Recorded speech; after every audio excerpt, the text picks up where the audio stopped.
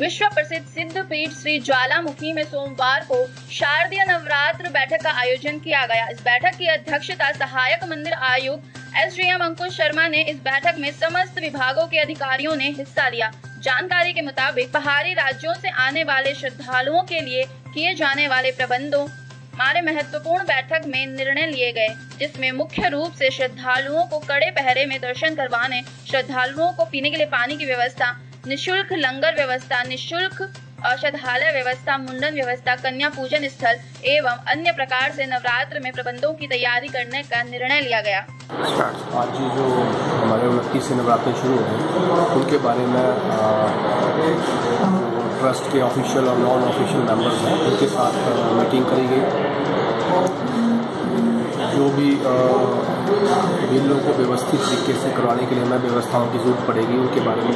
हमने डिटेल में चर्चा करी है। लगभग सभी विभागों के अधिकारी जो भी यहाँ पे उपस्थित हैं, सभी ट्रस्ट मेंबर्स उपस्थित हैं और जो जो भी रोल और रिस्पॉन्सिबिलिटीज़ हैं, वो सबको कन्वे कर दी गई है और हम ये उम्मीद करते हैं कि ये नवरात्रे हम अच्छे सुव्यवस्थित तरीके से करवाने में कामयाब होंगे।